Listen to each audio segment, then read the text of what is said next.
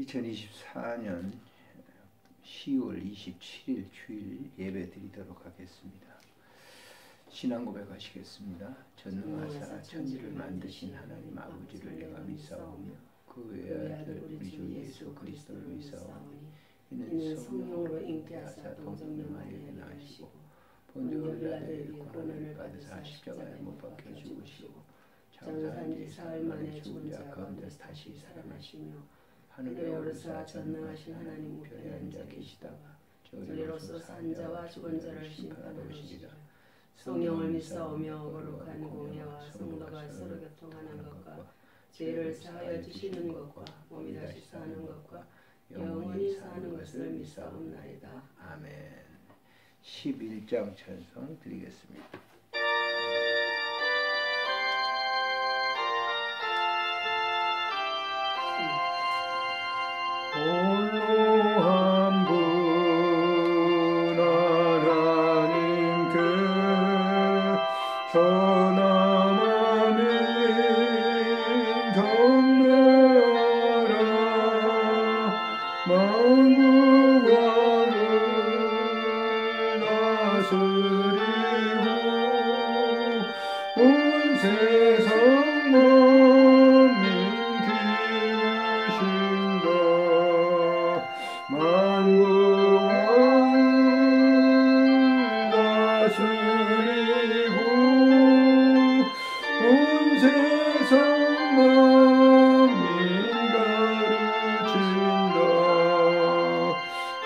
독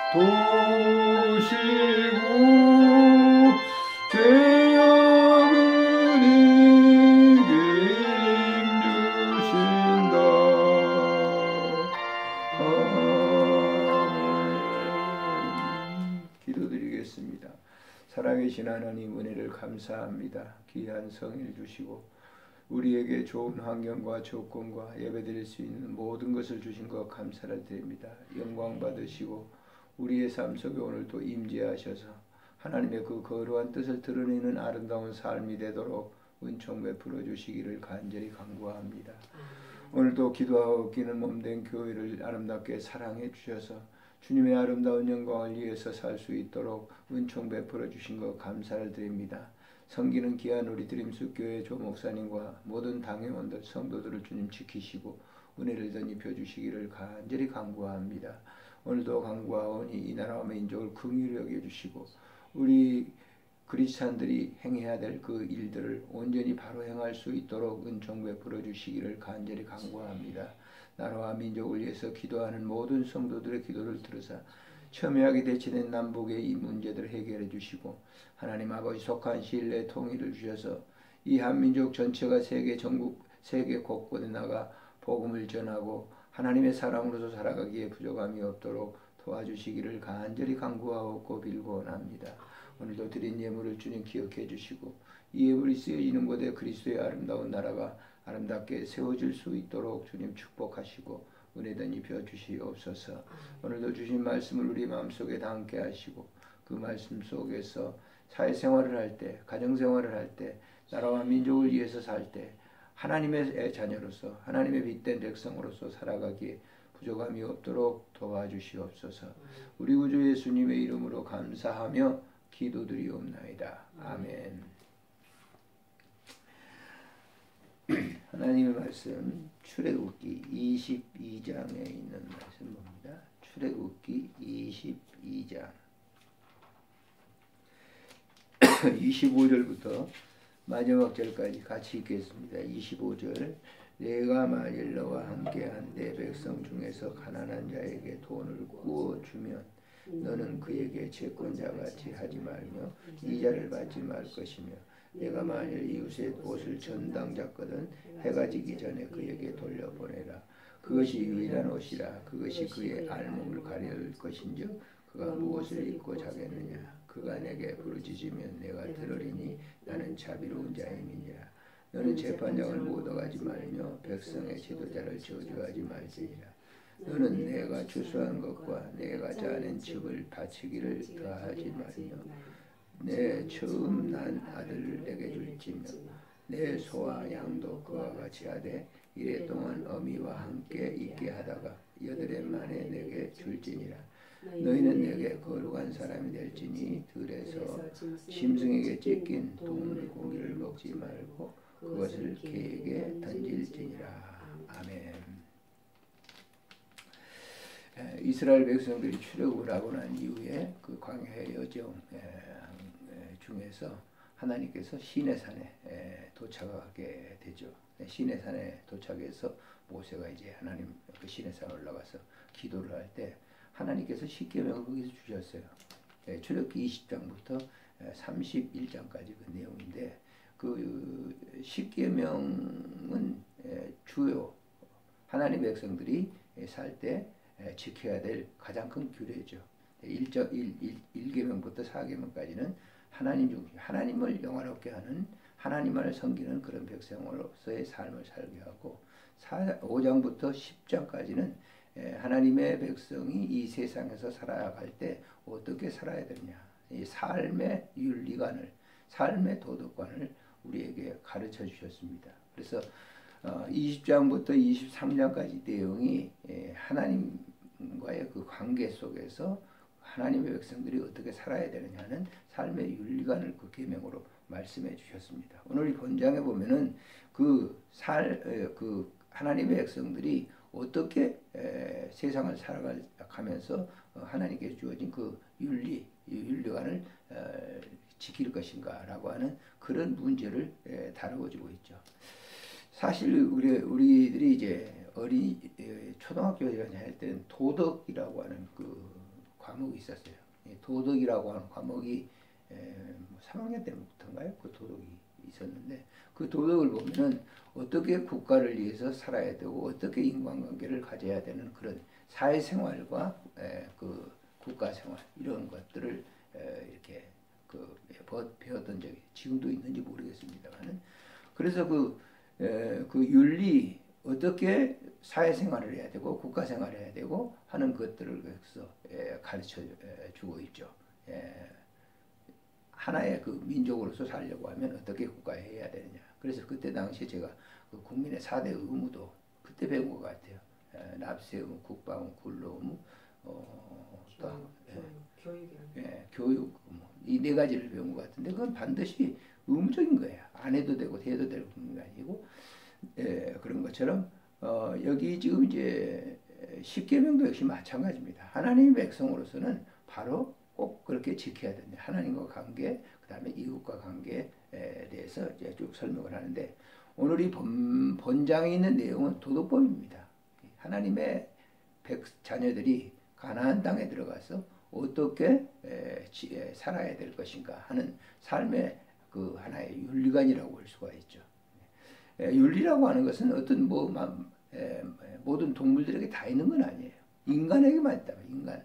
인간은 이제 사고하고 모든 것을 하기 때문에 예, 고등동물이라고 그러지 동물적으로 생물학 교수들은 고등동물이라고 하는데 인간은 사고하고 말하고 모든 표현이 있기 때문에 그들이 이제 아무렇게 살면 안 되죠. 그래서 그런 어떤 윤리관을 갖다가 제시해 주면서 가난 땅에서 너희들은 그렇게 살아야 될 것이다. 또 오늘날 우리가 기독교인들이 이 세상을 살면서 하나님의 백성으로서 하나님의 자녀로서 그 윤리를 먼저 지켜야 돼요. 그게 우선권이에요. 그 윤리 하나님이 주신 윤리를 갖다가 지키게 된다고 하면 뭐 더 이상의 세상에 문제될 것이 없어요. 근데 문제는 그런 어떤 윤리적인 걸 지키지 않기 때문에 오늘날 기독교인들이 많은 사회 지탄을 받게 되는데 기독교인들이 가지고 있는 이 하나님이 주신 계명의 그 안에서 지켜야 될 이웃과의 윤리 관계를 갖다 바로 지킨다고 하면 세상에 법이 필요가 없, 없다고. 근데 문제는 뭐냐면 기독교인들이 그렇게 하지 않기 때문에 사회적인 문제가 되게 되고 많은 혼란을 주게 되는 것이죠. 오늘날에 오늘날도 마찬가지예요. 근래 이렇게 일어나는 일들을 보게 되면 기독교인들이 어떻게 살아야 되는가 하는 삶의 윤리적인 문제를 바로 하지 않기 때문에 문제가 되는 거예요. 어떤 사람은 극단주의적으로 나가는, 어떤 사람은 또 뒤로 물러가 있는 사람이 있고, 어떤 사람은 그냥 아니라 중간층에 이제 뭐 회색지대죠. 그렇게 있는 사람이 있단 말이에요. 그러니까 그런 것들을 우리가 바로 지킨다고 하면 무슨 사회 그 문제가 될 것이 없죠. 근데 세상은 어떤 세상이냐면은 죄악으로 가득 찬 세상이기 때문에 그 속에서 기독교인들이 살아가야 되는 삶의 여정 가운데 예, 그런 삶을 지키기가 매우 쉽지 않죠. 근데 쉽지 않지만은 그걸 지켜야 된다라고 하는. 그래서 하나님께서 모세에게 가나안 땅에 들어가서 너희들이 하나님의 자녀로 하나님의 백성으로서 이러한 삶의 규칙을 지켜야 된다. 그래서 그 규칙에 보면 인간의 도덕 윤리관들을 쭉 이렇게 얘기해 주는데 그건 아주 최 그 최 꼭지점에 있는 윤리관이에요. 그거 지키기 밑에 다 예, 되는 것이죠. 근데 문제는 거기서 지키지 않게 되면 모든 것이 문제가 어긋나게 되는 것이죠. 이스라엘 백성의 역사를 쭉 이렇게 훑어보게 되면 여호와의 윤례와 규례를 그대로 지켰을 때 그 나라는 흥왕했고 또 영적으로도 크게 백성들이 그 부유하고 그 풍성한 은혜를 누리며 살았던데.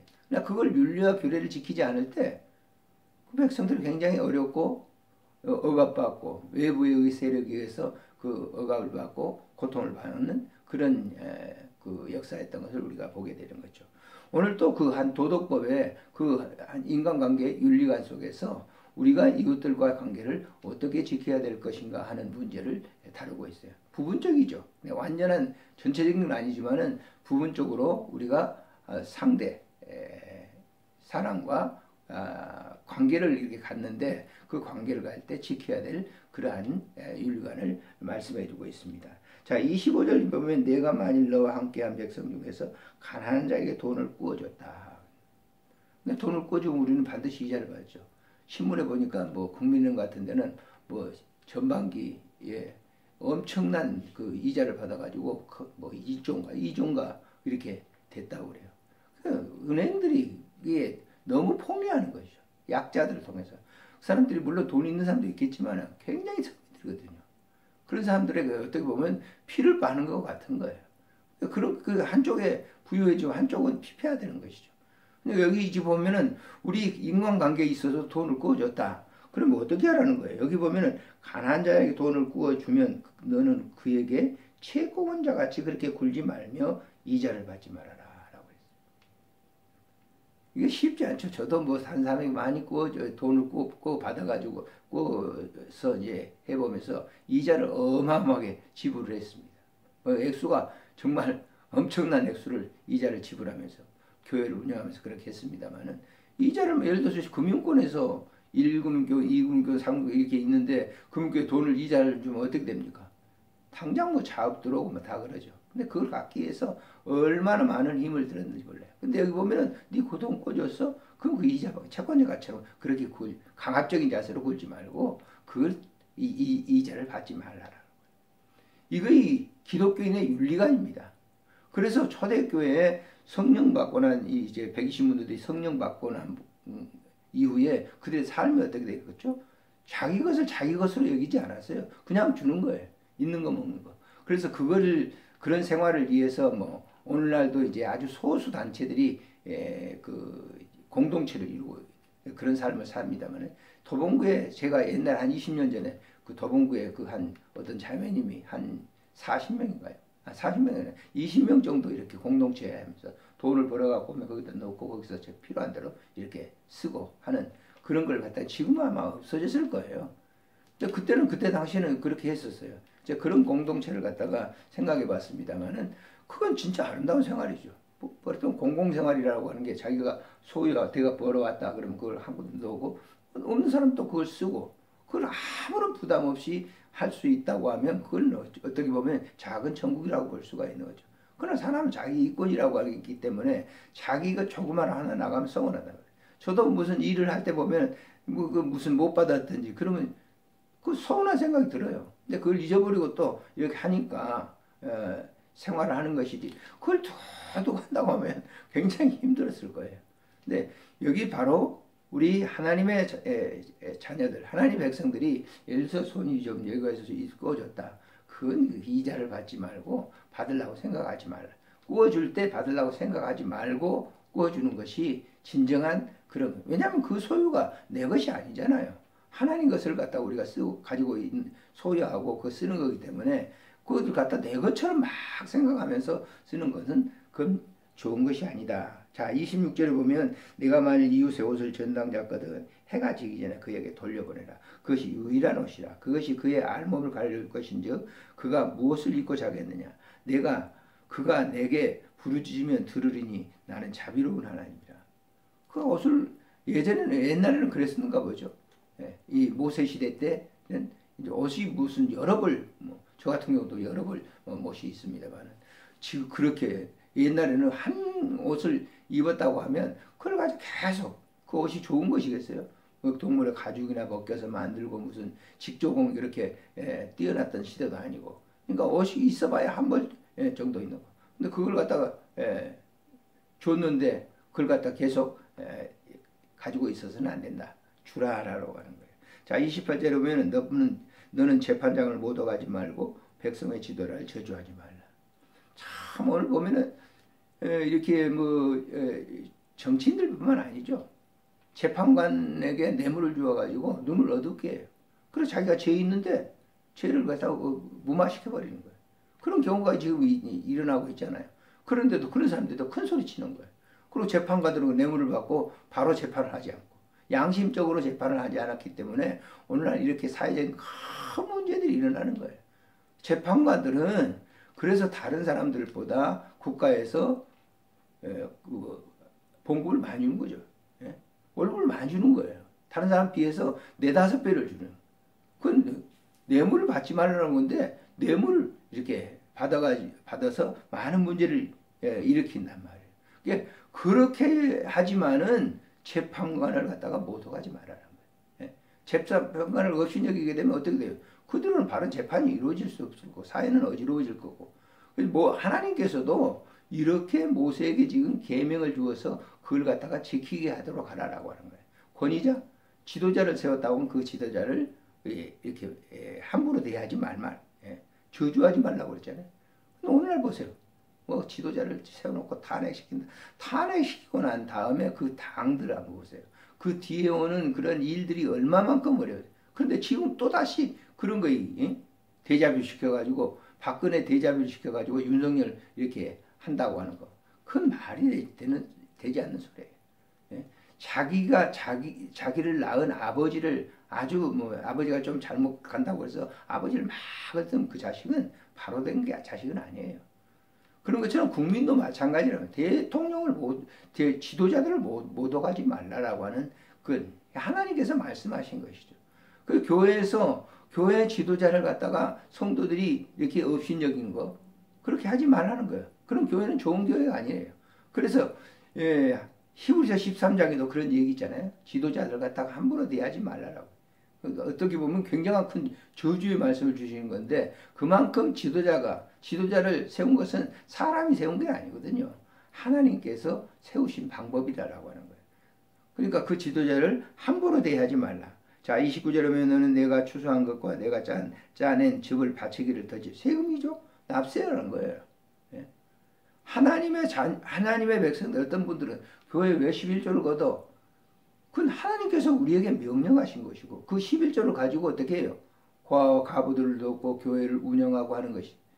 근데 그 납세를 그 세, 하나님께 바른 헌금을 드리지 않는 사람들이 더 교회에 문제를 일으키는 걸 볼 수가 있어요. 나라도 마찬가지입니다. 저도 처음에 세금을 내려니까 굉장히 아깝더라고요. 그러나 세금은 정당하게 우리가 근로를 했다고 하면 내는 게 국가가 어떻게 돌아가는 거죠? 세금이 있으니까 돌아가는 것이죠. 근데 세금을 어떻게든지 안 내려고 하는 편법을 엄청나게 많이 지금도 쓰고 있어 지금도 식당 같은 데 가보면 말이죠. 돈을 갖다 카드로 보면 세금 뭐, 뭐, 뭐 이제 세금 그걸 숨길 수가 없기 때문에 현금은 달라는 현금은 이제 세금을 안 내려고 하는 그런 방법이거든요. 그러니까 좀 이렇게 뭐 동대문이나 남대문 시장 지금 많이 이제 카드를 씁니다만은 다 현금을 요구하는 거예요. 그거는 그 편법이거든요. 세금을 안 내려고 하는 거는 하나를 국가를 좀먹는 거나 마찬가지예요. 국가 예산이 있기 때문에 무슨 도로를 놓고 뭐 항만 시설을 하고 무슨 시설들을 다 하는 거지 않습니까? 그거 누가 내는 게 다? 우리가 내는. 도로가 이렇게 파손됐다. 그러면 그 누가 하는 거예요? 국민들이 내야 되는 거죠. 예전에 저는 어린 시절에 초등학교 다닐 때 뭐 길이 좋지 않았기 때문에 울력을 나갔어요. 길, 길에 자갈, 모래 같은 거 퍼와가지고 부모가 나가야 되는데 우리들이 초등학교 다니면 우리들이 나가가지고 그걸 갖다 했던 적이 기억이 나요. 그런 도로를 보수하지 않으면 누가 하겠어요? 그러니까 지금 우리가 우리나라처럼 뭐 교통망이 발달되고 뭐, 뭐 굉장하잖아요. 예? 여의도가 그냥 뭐 몇 년마다 달라지는 것 같아요. 뭐 그, 건축물도 많으니까 어제도 어떤 분이 그런 얘기를 하고 여의도를 이렇게 쭉 가면서 그런 얘기를 하더라고. 야 여의도가 홍콩처럼 정말 멋있어졌어요. 제가 볼 때도 그래요. 그런 모든 것들이 누가 하는 거예요? 다 사람들이 세금을 내 가지고 국민들이 세금을 내 가지고 그렇게 만드는 것이죠. 세금을 내는 걸 내, 내 저, 하지 말 아끼지 말라 그랬어요. 자, 그, 그 다음에 보면 30절, 양과 소, 이게 이제 이따가 간, 그 새끼를 낳았는데, 그걸 떼, 떼서 갖지를 말하는 거예요. 여덟 해 동안 놔뒀다가 그걸 갖다가 가지라 얘기해요. 31절에 보면 너희는 내게 거룩한 사람이 될지니 그랬어요. 짐승에게 찢긴 동물의 고기를 먹지 말라. 그건 개나 주라. 동물들에게 주라. 그거예요. 그걸 갖다가 전부 취해서는 안 된다라고 하는 거예요. 자, 오늘 이 본문을 보면서 더 많은 말씀들이 있어요. 쭉 읽어보면 사회생활하는 가정생활을 어떻게 해야 될 것이고, 사회생활을 어떻게 해야 될 것이고, 나라와 민족을 위해서는 어떻게 하나님의 백성들이 살아야 될 것인가 하는. 근데 그것이 문제가 아니라 하나님의 백성들로서의 하나님이 정하신 그, 그 곳에, 그 장소에 가서 너희들이 살 때 그런 법을 지킨다고 하면 정말 평화로운 나라가 되는 거죠. 정말 기독교인들이 이 말씀대로 그대로 지켜 산다고 하는 그런 어떤 공동체를 이루게 되면 정말 편안한 거예요. 그래서 지금도 예전에 뭐 제가 한 15년 전인가 20년 전에 볼 때는 내가 공동체에 대해 관심을 많이 가졌어요. 그래서 공동체에 대한 책을 갖다 한, 한 50권 정도 읽었을 거예요. 미국, 스위스, 뭐, 전부 일어난 공동체 그 책을 읽었는데 지금 이제 저 영락교회 담임했던 이명수 목사님이나 뭐 김진영 목사님이나 이런 분들이 뭐냐면 그런 공동체의 그, 그 영역을 이렇게 에, 만들어가고 있는 분들이죠. 근데 그곳에 가면 뭐 헌금 내시오 그런 없어요.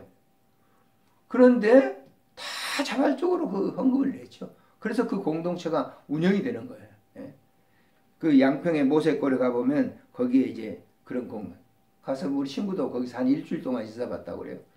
자기 먹을 거 그냥 가서 먹고 그리고 자기가 낼 것도 내고 그리고 거기 이제 뭐 기독교인들 가운데 많이 이제 그쪽으로 또 예, 이렇게 헌신하는 분들이 계시죠.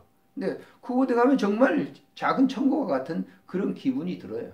근데 거기에 이권이 들어가고 그런 건 없죠. 좀 하나님의 소유 전체의 자산이기 때문에 하나님 백성들이 와서 거기에는 아무런 부담 없이 생활하는 거예요. 근데 제가 볼 때는 이제 뭐, 어, 이제 뭐, 포천 같은데 그런 경우들은 상당히 인권들이 있어요. 근데 이제 본인들은 그건 얘기를 안 쳐. 그냥 이 모세골 같은 데 가보면은, 예, 제가 직접 가보진 않았지만은 그 소문을 들어보면 그거는 정말 이권이 없어요.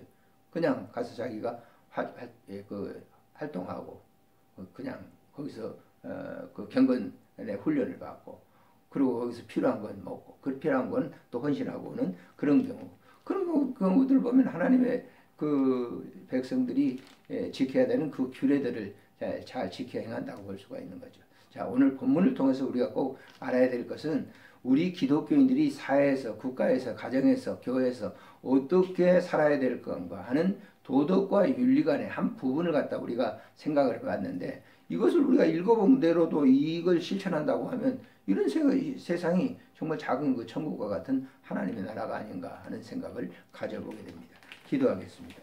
참 좋으신 하나님 아버지 은혜를 감사를 드립니다. 오늘도 주신 말씀을 다시 한번 우리의 마음속에 새기고 하나님의 자녀로서의 삶을 바로 살아갈 수 있도록 은총 베풀어 주시옵소서.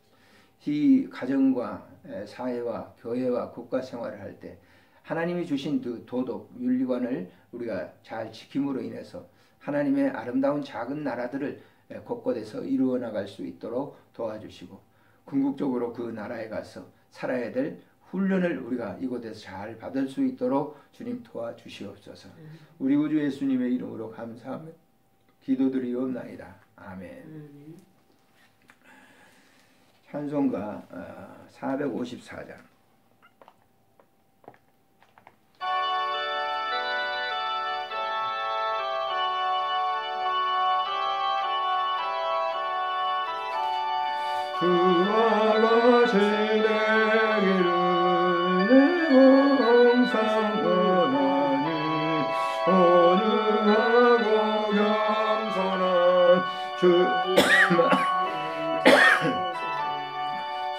세상에서 우리가 너로 있을 때 그의 형상 닮아서 살아가게 하소서. 비록 작은 새라도 돌보시는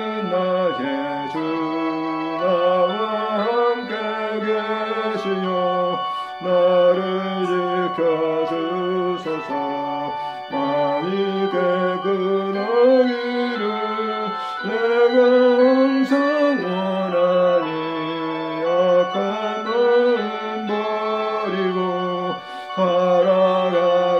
하소서. 아멘 주와